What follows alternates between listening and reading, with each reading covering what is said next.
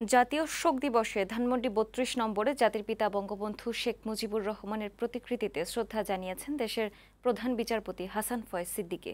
তার সঙ্গে ছিলেন রাষ্ট্রের প্রধান আইন কর্মকর্তা attorney general A M Amin Uddin পরে সুপ্রিম কোর্ট প্রাঙ্গণে আইনজীবীদের সাথে নিয়ে বঙ্গবন্ধুর প্রতিকৃতিতে শ্রদ্ধা নিবেদন করেন প্রধান বিচারপতি। এ সময় সাংবাদিকদের প্রশ্নের জবাবে তিনি বলেন কমিশন গঠন করে পনেরোই আগস্টের হত্যাকাণ্ডের নেপথ্যের কুশীলবদের খুঁজে বের করা উচিত, যাতে মানুষ অন্তত তাদের ঘৃণা করতে পারে। সবাইকে জাতির পিতার আদর্শ অনুসরণের আহ্বান জানান প্রধান বিচারপতি। এটা সম্পূর্ণভাবে এক্সিকিউটিভ সিদ্ধান্ত। সেটা ওনারা সিদ্ধান্ত নেবেন। এটা হওয়া উচিত বলে আমরা মনে করি।